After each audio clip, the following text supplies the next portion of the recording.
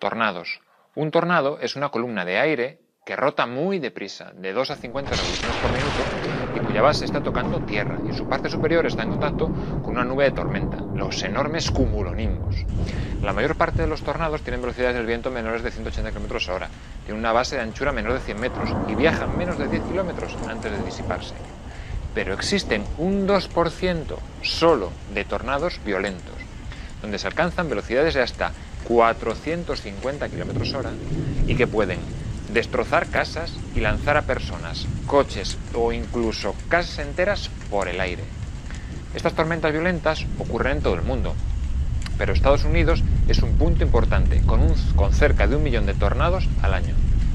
Hay una región llamada el Corredor de los Tornados, Tornado Alley, donde se dan el mayor número de tornados del mundo. Es el sitio con las tormentas más destructivas y de mayor potencia. En Estados Unidos, los tornados causan una media de 80 muertos y más de 1.500 heridos al año. Hay una escala, llamada escala de Fujita, que se basa en los daños causados por el tornado. Un F5, el más potente, es extremadamente destructivo. Tornados de esta intensidad destruyen todo en su camino.